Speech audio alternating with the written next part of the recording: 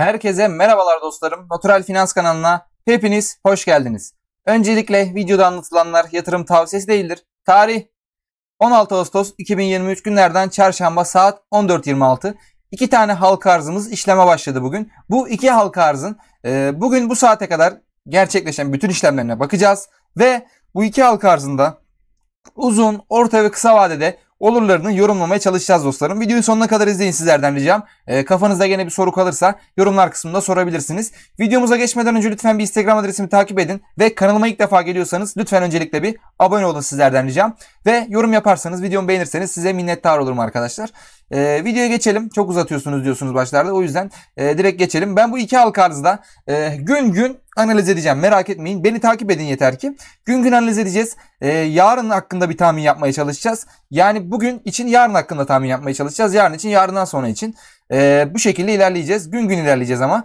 E, bu konuda emin olabilirsiniz. Izener'la başlamak istedim. E, grafik açısından sizlere birçok e, burayı açıp gösteren insanlar vardır. E, burada bakılabilecek pek de bir taraf yok aslında. Çünkü ikisi de yeni halka arz oldu. Teknik veri oluşmuş değil ikisinde de. İkisi de tavan fiyattan işlem görüyor. Herhangi bir sıkıntı olmadığını söyleyebilirim grafik açısından. Bu hisselerin, bu halka arzların bir de gün içerisinde bu saate kadar gerçekleşen işlemlerini sizlere göstereyim. Sizlere ilk göstermek istediğim yer endeks arkadaşlar. Çünkü neden?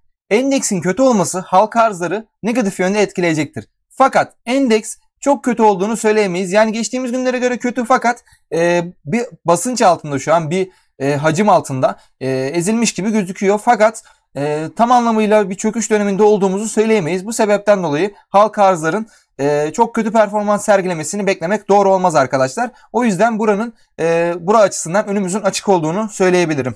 Burada sizlere göstermek istediğim ilk yer e, bireysel yatırımcı, yurt dışı, yurt içi kurumsal yatırımcı, e, yurt içi bireysel yatırımcılar şeklinde gözüküyor zaten burada. E, burada bizim e, ek satışlara dahil olmuş bu özür diliyorum. Yani toplam aslında bununla bu birleşik %60'lı olan kısım. E, bakacak olduğumuz yer iki tane kurum var. Yurt içi bireysel, yurt dışı kurumsal. E, satışlara göre bunları yorumlayacağız az sonra. Bir de e, fiyat istikrar açısından da 15 gün halka arz gelirinin %20'si şeklinde. Bunları not edin arkadaşlar unutmayın. Şimdi genel anlamda baktığımızda İzmir Demirçelik'te, İzmir Demirçelik Enerji'de İzanır'da yani 8-15 bin liralık para girişi olduğunu söyleyebiliriz. Güzel. Ee, en düşük fiyat en yüksek fiyat tavan bozmadı gün içerisinde. Bu yüzden aynı olacaktır. 20.90 fiyatından işlem gördüğünü söyleyebiliriz tavandan. Ee, detay kısmına bakacak olursak da 178 bin not satılmış işlem adedi olarak. Hacim kısmı da 3 milyon 728 binlik bir hacmi bulunuyor şu anlık. İyi güzel. İlk görüşüm biraz daha fazla gibi gözüküyor. Fakat çünkü sebebi şey olabilir arkadaşlar. Çok fazla bilinçsiz yatırımcı geldi bu halka arzı. Çünkü rekorlar kırıldı bu halka arzın katılımında. Bildiğiniz üzere talep toplama sırasında. Derinlik kısmına bakacak olursak da burası beni aşırı derecede şaşırttığını söyleyebiliriz. Neden? Çünkü burada 113 milyon yaklaşık 114 milyonluk alış emri var. Bu benim uzun zamandır gördüğüm en yüksek e, alış emri arkadaşlar. E, bu da elbette e, gelecek açısından orta uzun va kısa vade açısından diyelim bunu e, öyle nitelendirelim. Çünkü uzun vade açısından dediğimizde aylar falan oynuyor. E, burada bizim e, bakacağımız yer 2-3 haftalık süre zarfı gibi gözüküyor. 114 milyonluk bir alış emri olduğunu görüyoruz. 111 milyonda anlık olduğu fiyattan 20.90 fiyatından alış emri olduğunu söyleyebiliriz. Bu da hisseyi e, elbette e, güzel yerlere getirecektir. E, bu yatırım tavsiyesi vesaire bir şey değildir. Bizzat kendim yorumluyorum ben bunları. E, olumlu gibi gözüküyor. Yani rekor arkadaşlar bu. Uzun zamandır ben bu işleri takip ediyorum. E, hiç bu kadar yüksek emir olduğunu görmedim bir halka arzda. Tabii ki başka e, hisselerde görmüştüğümüz var. Fakat hiçbir halka arzda bu kadar yüksek emirler görmemiştik. Bu emirlerin %100'ünün gerçek olduğunu söyleyemeyiz. Fakat e, ciddi bir oranda gerçeğinin de olduğunu söyleyebiliriz. Yani bildiğiniz gibi Asya'da 20 milyon emir vardı. 20 milyon emir varken tavan bozdu vesaire. Tabana kilitledi ertesi gün. Bunlar hep başımıza gelebilecek şeyler. Fakat e, bu kadar emir varken de ben mümkün olduğunu düşünmüyorum. Yarın açısından yeniden tavan alabilecek potansiyel olduğunu düşünüyorum arkadaşlar.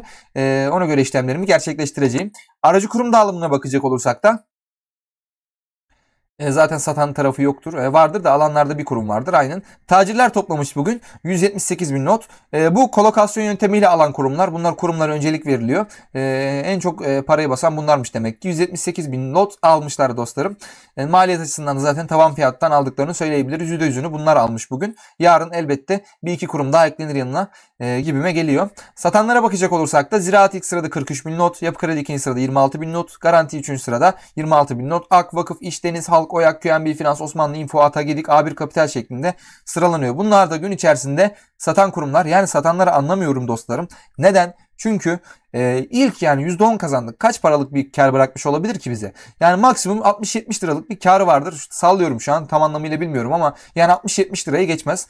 60-70 liralık bir kar için neden halka arza başvurduk ve neden birinci işlem gününde satıyoruz? Bazen kendimizi sorgulamamız gerekir. Tabii ki ben karışmak gibi olmasın yani yatırım tavsiyesi değil, yatırım tavsiyesi gibisi gibi olmasın. Fakat anlam veremediğimi söyleyebilirim bu satanlara. Ee, devam edelim. Zaten takas analizi açısından bir şey göremeyiz burada. Ee, lotların en baştaki miktarını görürüz. O yüzden e, bunu da göstereyim video içerisinde. Ziraatte bu kadar lot var başlangıçta. Yatırım fonlarında bu kadar. Garantide bu kadar. Vakıfta bu kadar. Ee, bu şekilde gözüküyor dostlarım. Ee, ben ama gelecek açısından biraz daha e, iyi yerlere gelebileceğini düşünüyorum uzun vade açısından. E, tabii ki bu kısa vade açısından bakacak olursak da e, bir tavan tahmini yapmaya kalkacak olursak da yani bunları yapmak zordur. Tavan tahmini yapmak şu anda e, kumar oynamaktan, iddia oynamaktan farkı kalmaz şu an. E, fakat ben 7 tavan yapabilecek potansiyeli olduğunu düşünüyorum. E, tabii ki bu yani dediğim gibi iddia oynamaktan bir farkı yok şu an bu tahminin. Ee, biz gün gün e, saat saat gün geçtikçe ilerliyor e, inceliyor olacağız zaten. E, bu şekilde yapmak daha doğru olacaktır. Bu halk arz hakkında söyleyeceklerim bu şekilde. Ofis bir daha hakkında bakacak olursak da burada halk arz şekline bak yok şurası.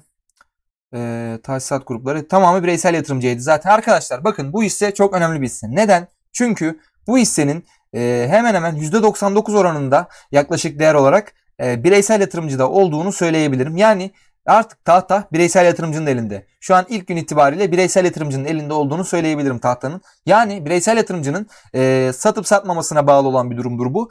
E, satmazlarsa mantıken e, hissede alışlar baskın gelir. Alışlar baskın gelince de tavan serisi e, uzar arkadaşlar. Bu şekilde olduğunu söyleyebiliriz. E, iskonto bu şekilde %23.1.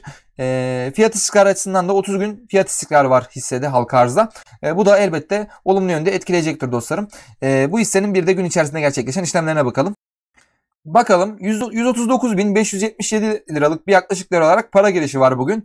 29.92 e, yani tavan fiyattan alış satışta en düşük fiyat en yüksek fiyat şeklinde bu şekilde zaten e, tavan bozmadığını anlamış oluyoruz bu şekilde. E, başka da burada bakabilecek bir yerimiz yok. E, detay kısmına bakacak olursak da işlem adedi olarak 26 bin not satıldığını söyleyebiliriz. Ufak bir miktar güzel. E, fakat bunların hepsinin bireysel yatırımcı olduğunu unutmayalım. E, yani düşünün arkadaşlar biraz. Hacim bu şekilde 770, 788 binlik. E, derinlik kısmına bakacak olursak da 11 milyon not ya 11 milyon not alış emrinin tamamı dostlarım. E, 11 milyon 100 bin notta özür dilerim 11 milyon 300 bin not alış emirlerinin tamamı 11 milyon 100 lotta e, 29.92 fiyatından yani anlık olduğu fiyattan e, alış emri olduğunu söyleyebiliriz. E, güzel yani e, düşük olması veya yüksek olması bizlere çok bir anlam ifade etmiyor. Çünkü 20 milyonda Asya bozdu. E, bu kadar düşük olması bizi korkutmasın. Ben hala da yarın da tavan yapabileceğini düşünüyorum dostlarım. E, düşük olması korkutmuyor yani benim. E, elbette bu emirler değişir. iki gün sonra artar, bir gün sonra azalır. E, bunlara çok takılmamak gerekiyor. Bizim için önemli olan anlık verilerdir. Anlık olarak düşüşler kalkışlarda işlem yapabilmektir dostlarım. Aracı kurum dağılımına bakalım bir de. Aracı kurum dağılımındaysa da Deniz almış zaten bugün. Yaklaşık olarak 25 25.640 bin not almışlar bugün. %100'ü bunlara ait. Yarın bir iki kurum daha eklenir yanlarına. Satanlara bakacak olursak da Midas satmış 7000 not, Ziraat satmış 7000 4000 not, e, Garanti 3000 not satmış, Vakıf 3000 not, İş, Ak, Halk, Oyak, Osmanlı, TEP, QNB Finans, Info, Ata, Gedik, Ahlatçı şeklinde e, ilerliyor dostlarım. Takas analizi açısından da bunları ilerleyen günlerde fayda sağlayacağımız için gösteriyorum. Şu an bir anlam ifade etmiyor takas analizi. E, günlük bazda kırıntılar gözüküyor ama bizim için önemli olan şurası, şu nokta yani. Şu noktayı ben size gösterdikten sonra çok da bir önem olmadığını söyleyebilirim. Ee, başka da bakabilecek bir yer yok dostlarım. Ee, ben iki halka arzda satmadığımı söyleyebilirim. Ee, özellikle ofisyem e, şu an tamamı bireysel yatırımcının elinde olduğu için tahta e, bireysel yatırımcının hareketlerine göre hareket edeceğimi söyleyebilirim dostlarım. Uzun vade açısından da bakacak olursak da izlenir biraz daha gelecek vaat ediyor gibi dostlarım. Yarın Tatlı Pınar açılıyor. Ben Tatlı Pınar'ı e, biraz daha hevesle beklediğim bir halka arz. Çünkü e, da emir, tavandaki emir miktarlarına bakacağız yarın merak etmeyin. E, ama projeler açısından vesaire e, nerelere yatırım yaptıkları açısından, nerelere para kullandıkları açısından Tatlıpınar biraz daha cazip geliyor bana dostlarım. E, bilginiz olsun. E, bu videoluk bu kadar olsun. Kısa tutalım bu videoyu. Yorumlar kısmında bizlere yorum yapmayı mutlaka ihmal etmeyin. Videomuzu beğenin. Ve açıklama kısmındaki Instagram adresi mutlaka takip edin. Ee, burada çünkü katıl özel Telegram grubumuza insanlar oluyoruz. Katıl özel Telegram grubundan sürekli iletişim halindeyiz dostlarım. Ee, kanalımıza abone, abone olmayı lütfen unutmayın. Ee, bu videoluk bu kadar olsun. Beni izlediğiniz, bana zaman ayırdığınız, beni dinlediğiniz için teşekkür ederim. Bir başka videoda görüşmek dileğiyle. Kendinize iyi bakın. Allah'a emanet olun dostlarım.